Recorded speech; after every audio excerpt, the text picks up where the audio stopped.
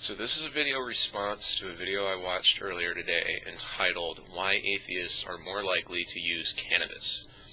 Now anybody who knows me knows that the title of this video alone contains a couple of different subjects that I myself would instantly have an opinion on, and I do.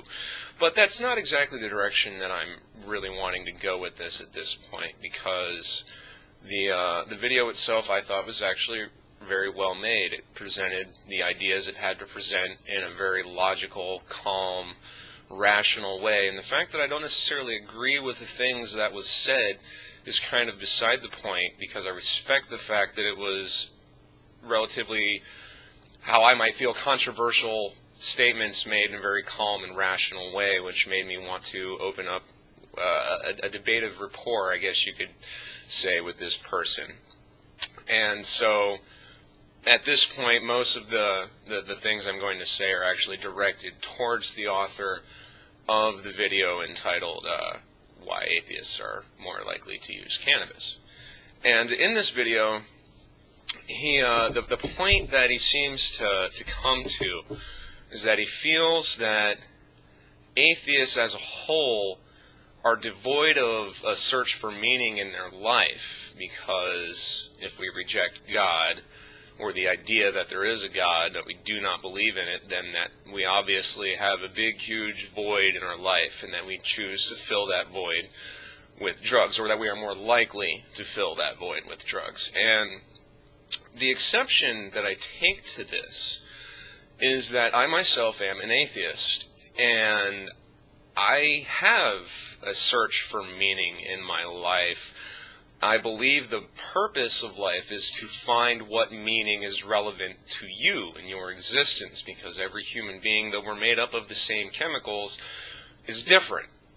We all have aspects of personality that are influenced by upbringing, and some people theorize of influenced by genetics and influenced by our environment, and there's all these different elements that that impact, for lack of a better term, person throughout their life, and, and these impacts shape who you are as as a, as a being, as a human.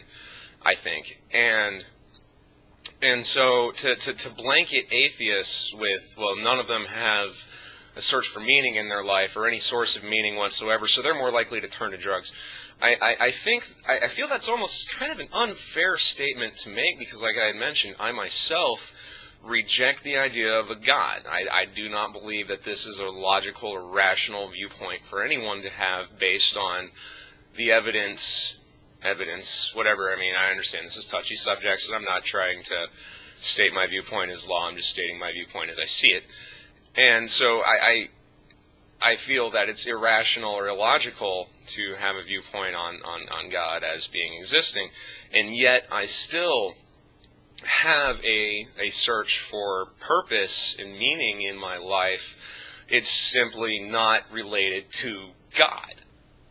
So I guess to summarize the point that I'm that I'm trying to make is that I, I don't think that atheists are more likely to turn to drugs as a source of meaning or inspiration in their life any more so than anyone else. I, I think that's actually something of an unfair statement to make.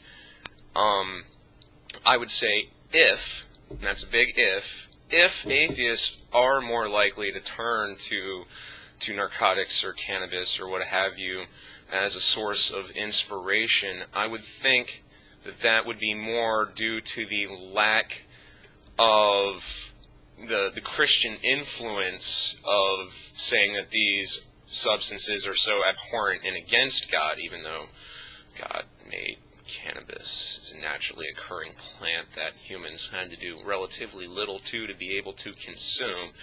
But that's it's really beside the point. And and so I, I guess once again to summarize, I think it's unfair to say that atheists are more likely to use cannabis because they have a big void in their life. I think that's actually selling the atheist viewpoint way short of what it is, and that's also making a blanket judgment as atheists as having some sort of group affiliation other than that we all don't believe in God, and that there's that's really it. There's no there's no real methodology to it or defining um, uh, requirements. You don't have to have anything to be calling yourself an atheist other than a lack of belief in God. And that's really the only thing that all atheists universally have in common.